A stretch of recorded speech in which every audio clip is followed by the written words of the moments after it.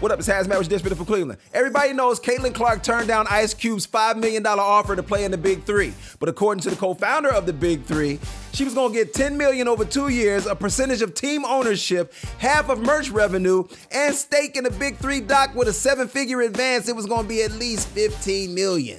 But she'll get her WNBA salary, 338,000 over four years.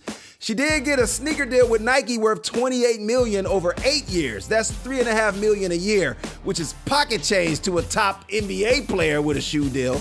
Some are wondering how she get a shoe deal, and A'ja Wilson, who's a two-time WNBA champion, Finals MVP, League MVP, All-Star, college champion, Olympic champion, doesn't have a shoe deal. So they'll both make between 70 80,000 a year. It's like the WNBA now stands for will not be affluent or wealthy, no, but A.